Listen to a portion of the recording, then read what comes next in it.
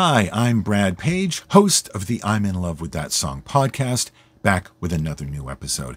You know, Paul McCartney has written so many great songs and had so many big hits, and yet sometimes I think his best work can be nestled away as obscure album tracks or even as B sides. Case in point, on the next episode, we're exploring a song that was originally issued as the B side to the Once Upon a Long Ago single. This song is called Back on My Feet. It was co written with Elvis Costello I think it's a great song.